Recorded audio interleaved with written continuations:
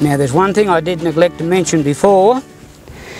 When you put your trap in the ground, make sure that the tongue, or they some people call it the dog, okay, the dog's at the back. You don't want the dog at the front. You don't want the you don't want that um, tongue at the front. Okay, because when the dog comes in, you're going to tread on the front there, and the and the plate's going to drop down from the front end.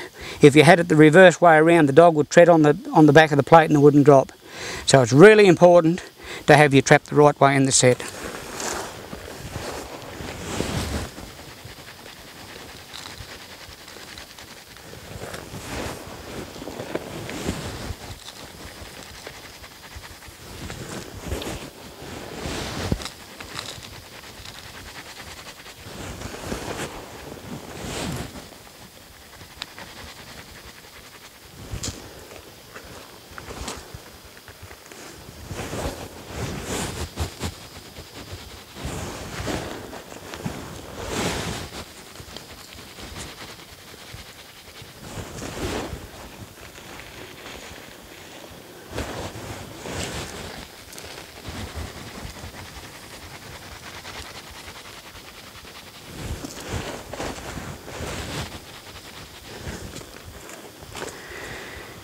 Okay, so you've effectively covered the plate up.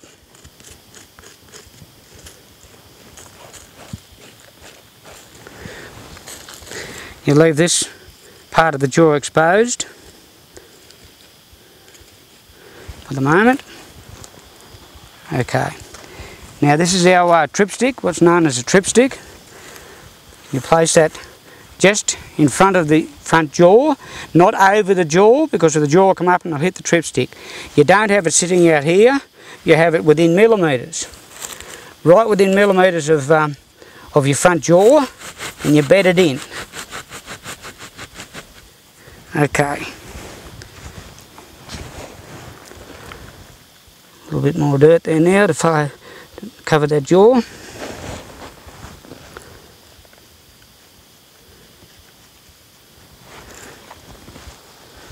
Okay, just tidy up a little bit here.